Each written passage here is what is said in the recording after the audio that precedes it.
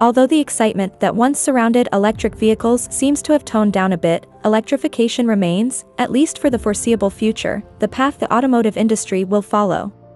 As such, expect some technological breakthroughs to be announced from time to time, as it happened this week courtesy of the Germans from Mercedes-Benz.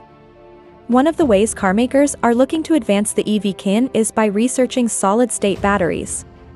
Because they use a solid electrolyte instead of liquid, batteries made like this are equipped with safer cells, but also come with improved capabilities and lower weight. That's in big part owed to the fact that solid-state batteries allow the use of new kinds of anodes. One such new kind of anode is the lithium metal one that's being researched by German carmaker Mercedes-Benz and battery startup Factorial. The two companies have been working on a solid-state battery for a while now, having tied the knot back in 2021. Four years later, the world can witness the first results of the tie-up, cleverly disguised as an unassuming Mercedes-Benz EQS that is already out and about on public roads.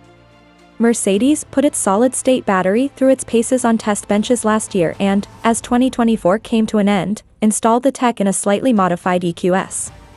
This February, the EV was taken out of the shop and it became the first car powered by a lithium metal solid-state battery on the road.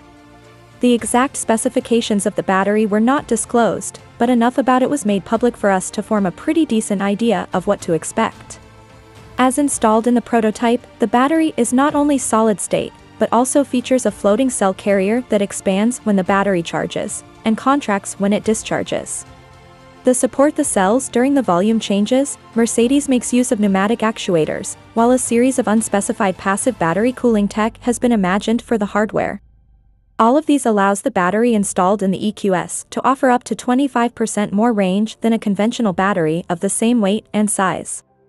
In the particular prototype now being driven on German roads, that translates into a max range of up to 620 miles or 1,000 kilometers. Mercedes plans to continue testing the battery installed on the EQS over the course of the next few months, both on the road and in the lab. The goal is to learn more about solid-state batteries and improve on the existing designs, in the hopes that someday the tech will become norm on the carmaker's EVs. The company did not announce when we are to expect the tech to be ready for mass production.